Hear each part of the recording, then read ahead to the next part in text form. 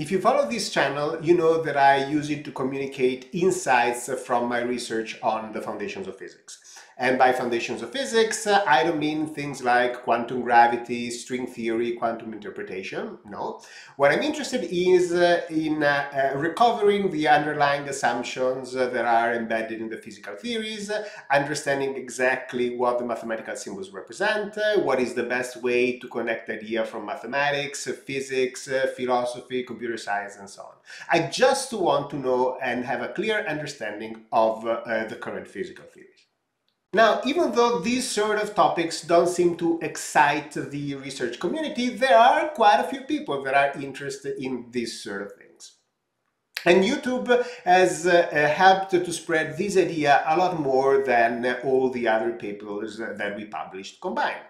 Uh, in fact, someone who initially uh, learned about our research through this YouTube channel is going to start his uh, PhD here at Michigan working on these things. Isn't that crazy?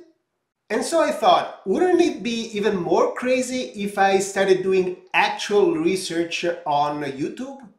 Not this channel, because YouTube doesn't seem to like when you mix two things too much, but on another channel. Instead of posting things that I have figured out, I could post things that I haven't fully figured out.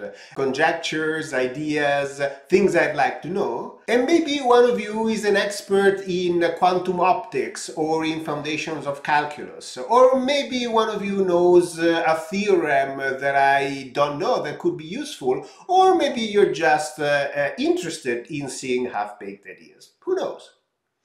Fine, it's probably a stupid idea and it's never gonna work, but what the heck. So, if you want to see how this turns out, subscribe to Assumptions of Physics The Research, link in the description. E comunque vada, sarà un successo.